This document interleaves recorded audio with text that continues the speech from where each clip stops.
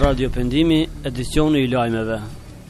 Përshëndetje të nderuar dëgjues, po takohemi në edicionin qendror të lajmeve në Radio Pendim të orës 16. Ndër të tjera, në këtë edicion lajmesh do të ndëgjoni.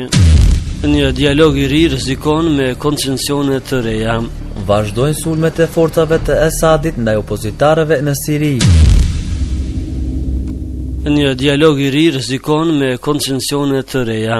Refuzimi i Serbisë për të pranuar kushtet e Bashkimit Evropian për marrëveshje me Kosovën sipas analistëve në Prishtinë nuk shënon edhe fundin e këtyre përpjekjeve. Sipas tyre, ndërmjetësit evropianë edhe më tej do të bëjnë trysni mbi palën serbe që të pranojë marrëveshjen, por në të kundërtën Nëse nis edhe një raund bisedimesh, atëherë mund të ketë edhe koncensione të reja, të cilat do të priteshin nga pala kosovare. Pas një serie të gjatë bisedimesh në nivel të kryeministrave me ndërmjetësimin e Bashkimit Evropian, Kosova dhe Serbia, të komunave serbe në Kosovë, por derisa pala kosovare ka ofruar një mandat në kuadër të Pakos së Ahtisarit për këtë mekanizëm, Serbia ka kërkuar më shumë kompetenca ekzekutive. Në Kosovë hyjnë dhe prodhohen ilaçe të rrezikshme. Disa ilaçe që futen në Kosovë e disa të tjera që prodhohen këtu mund të jenë më të rrezikshme se sa mendohet. Kjo sipas ekspertit farmaceutik Milaim Abdullahu ndodh për shkak të mungesës së një laboratori i cili do të kontrollonte çdo ilaç. Disa barna që aktualisht ndodhen në tregun kosovar për të nuk janë fare të sigurta. Shumica e ilaçeve që prodhohen në Kosovë kurrë nuk kanë kaluar nëpër laborator për analizë. Njëjtë ndodh edhe me ato që importohen nga vendet e tjera. Është kjo arsyeja që kosovarët duhet të kenë shumë kujdes e të mendojnë mirë se çfarë barna konsumojnë para se pasojat të jenë fatale. Kështu thotë Milaim Abdullahu, ekspert i fushës së farmacisë. Abdullahu thotë se cilësia e barnave që hyjnë në Kosovë varet se në çfarë rruge arrijnë ato në tregun tonë. Shqipëri, në Shkodër 7.000 hektarë tokë nën ujë, Moti i paqëndrueshëm me reshje të shpeshta shiu vijon të përkeqësojë situatën e përmbytjeve në Shkodër.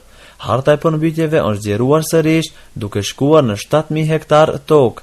Shifrat bëhen të ditura nga Shtabi i Emergjencave Civile në Shkodër, nga ku mësohet gjithashtu se shtatëqind e shtatëmbëdhjetë shtëpi vijojnë të jenë të izoluara nga uji dhe njëzet e tetë të tjera të përmbytura.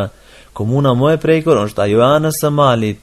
Në këtë komunë fshatrat Goricë, Muriqan dhe Obot prej disa javësh vijojnë të jenë të izoluara.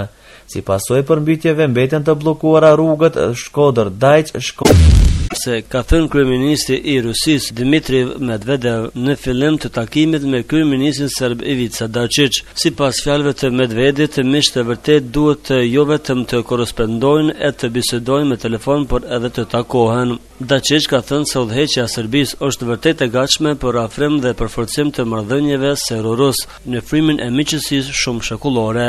Serbia sot ka nënshkruar një kontratë me Rusinë për marrjen e pesëqind milionë dollarëve kredi. Vazhdojnë sulmet e forcave të Esadit ndaj opozitarëve në Siri. Në sulme të organizuara në qytetet e ndryshme në mbarë vendin janë vrarë njëzet persona. Sulmet vazhdojnë me gjithë shpejtësinë në gjithë vendin e posaçërisht në qytetet Damask, Halep dhe Humus. Në këto sulme të organizuara nga ajri dhe toka u plagosën edhe një numër i madh i qytetarëve.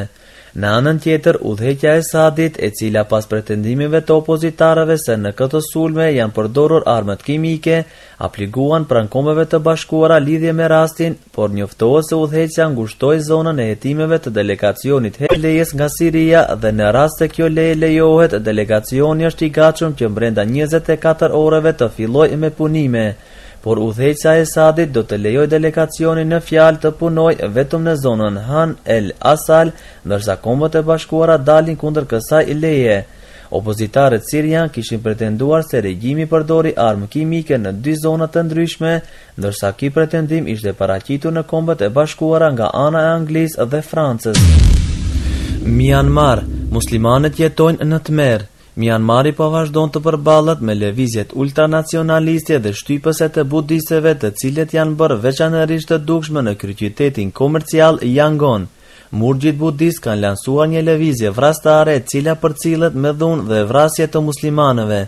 Shumë muslimanë që jetojnë në Yangon thonë se po jetojnë në tmerrin e frikës nga murgjit të cilët janë duke praktikuar një lëvizje të quajtur nëntëqind e gjashtëdhjetë e nëntë Emër i cili referohet Budës, mësimeve të tij dhe murgërisë. Frika është rritur edhe më tutje pasi trembëdhjetë djem të rinj u dogjën për vdekje në një shkollë islame me dy prill. Dhjetëra mijëra muslimanë iu është mohuar shtetësia nga Mianmari dhe janë ndarë nëpër kampe. Armiqësia e budistëve ndaj muslimanëve është e gjatë sidomos në Rakhine ku jetojnë. Për dallim nga Rakhine, Yangon është një qytet i larmishëm ku gjenden faltore budiste, xhami, kisha krishtere dhe tempuj hindu. Opozita siriane pjesëmarrëse në samitin e G-tetes Disa ministra të jashtëm të G-tetes do të takohen me anëtarët e lartë të opozitës siriane në Londër. Takimi pritet të mbahet këtë javë e që vjen në prag të një takimi mbarë ministror. Njoftimi erdhi nga sekretari i jashtëm britanik William Hague. Komentet e tij erdhën pasi sekretari amerikan i Shtetit John Kerry ka konfirmuar se ai do të jetë në mesin e përfaqësuesve nga radhët e opozitës Ghassan Kitto si dhe dy anëtarë të lartë të koalicionit kombëtar të Sirisë. Ai shtoi se bisedoi me ta çështjen e armatosjes së opozitës. Hague tha se takimi i ministrave të jashtëm nga G-teta do të diskutojë gjithashtu Korenë e Veriut, Iranin, Mianmarin, Somalinë si dhe çështjet e sigurisë kibernetike. Ministrat e jashtëm të G-tetës nga Britania, Kanadaja, Franca, Gjermania, Italia, Japonia, Rusia dhe Shtetet e Bashkuara do të mbajnë një darkë të mërkurën dhe të enjten gjatë së cilës do të zhvillohen bisedime formale. Parashikimi i motit Të nderuar dëgjues, koha në Prishtinë është diell dhe vranësira me 11 gradë Celsius, ndërsa Tirana ka 17 gradë Celsius me vranësira dhe diell. Po ashtu edhe Shkupi ka 14 gradë Celsius të përcjellura me diell dhe vranësira. Ishte kjo e tëra përgatitur për edicionin e lajmeve të orës 16 në Radio Pendim. Mirëmbetshi me programet tona në vijim deri takimet tona të radhës. Assalamu alaikum. Urimet dhe